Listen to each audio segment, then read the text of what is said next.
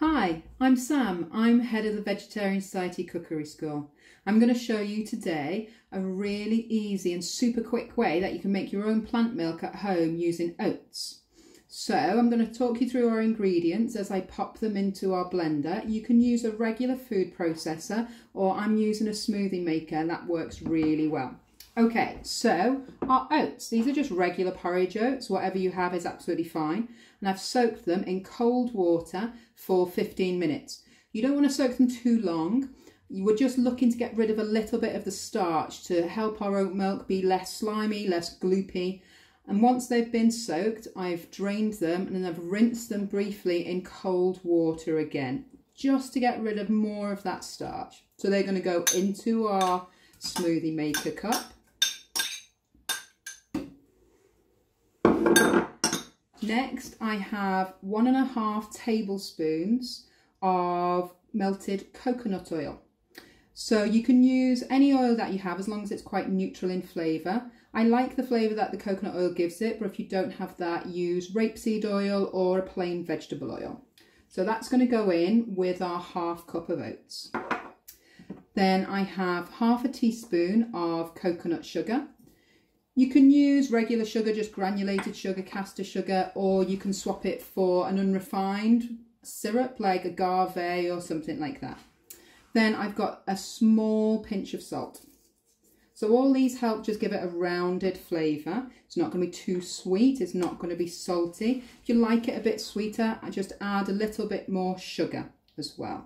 Right, okay, next we're going to use our cold water. I've just got some filtered water here, but you don't have to as long as it's really cold. Thing to remember is that oats want to be porridge. We want them to be milk, so we need to help it along wherever we can. Using the cold water helps with that. So I've got two cups going in. I've used cup measures instead of grams and millilitres because it's more about ratio than anything else. So you can measure them with a small coffee mug or whatever you have. So that's two cups going in. Okay, so next we're going to pop this onto our smoothie maker. I'm going to give it a brief blend. We don't want to completely pulverise the oats. I'm going to go for two quick blasts of about 15 seconds each.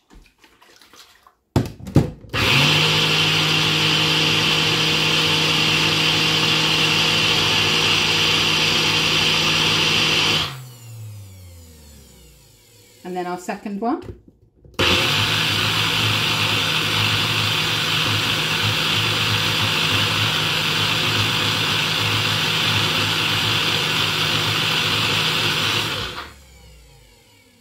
There we go. And as you can see, it's already starting to look more like oat milk than just oats. Okay, so next we want to get rid of all of the solids in there completely. We're going to do this in three passes. Firstly, we're just going to pass it through a fine mesh sieve just into a bowl. This gets rid of the first lot of the really kind of thick oat grounds and the solids in there. So we can give it a little help along the way. Just gently, we're not going to push it through that sieve. We're just letting the liquid drain off. So we don't want to push the starch out. We want to leave all the oats in there. You can use this oaty kind of sludginess that um, we're left with for smoothies. You can throw it in your baking. So this is going to go in my breakfast smoothie tomorrow. I'm going to give this a really quick rinse. Just getting rid of any residue in there. Okay, so next I've got a little bit of muslin cloth, cheesecloth here and that's going to go into our sieve. If you don't have any muslin cloth, you can use a clean tea towel um, or a scrap of material, cotton, whatever you have, as long as it's really clean.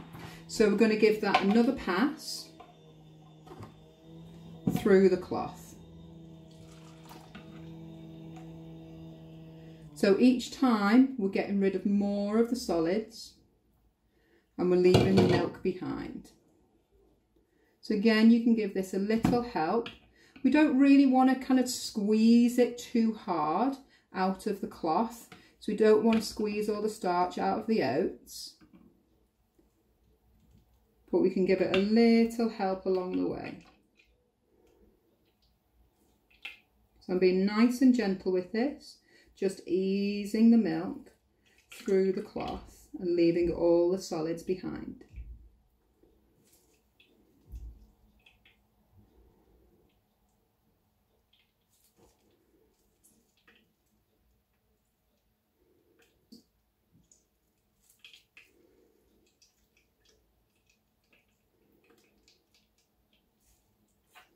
Okay, and for the second time, we're going to get rid of any solids that are left in that cloth.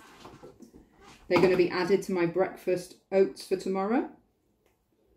Just a gentle scrape off of the cloth. If you don't have any cloth at all that you can use, you can just continue to pass it through your fine mesh sieve. You may be left with a little bit of solid residue, but it won't affect your milk too much. Okay, so this is through here now.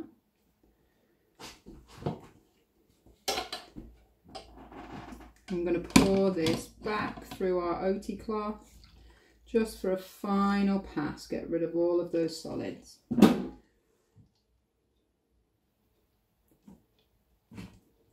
going to gather up the cloth and give that again gentle squeeze through, not too tight, don't be too firm with it. So this oat milk works really well for cereal and uh, you can flavour it up you know, into chocolate milk, all of those kind of things that you would do with your plant milks. Uh, works all, all right in your hot drinks too. It will add a little bit less colour um, than the commercially produced oat milks, but it will taste really nice and rich and creamy. Okay, so that's all in there. And then to store it, I'm just going to transfer it through into a jar. We're going to keep it refrigerated once it's done as well. So you can see that already looks really lovely and creamy. And that's ready for your cereal or for your hot drinks, however you would usually use your oat milk. I've got one that I made yesterday just to show you that it will settle a little bit in the jar.